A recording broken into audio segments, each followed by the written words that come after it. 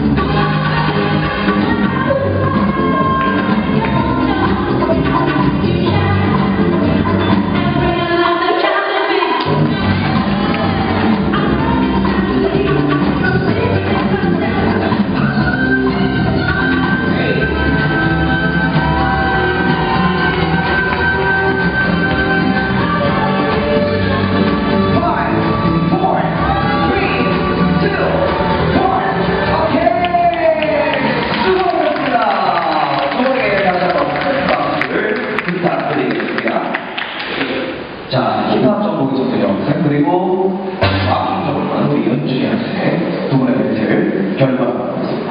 여기서 승리하게 되면 결승전으로 진출을 하게 되겠죠. 자, 선배 교수님 한 점을 부탁드리겠습니다. 3, 2, 1.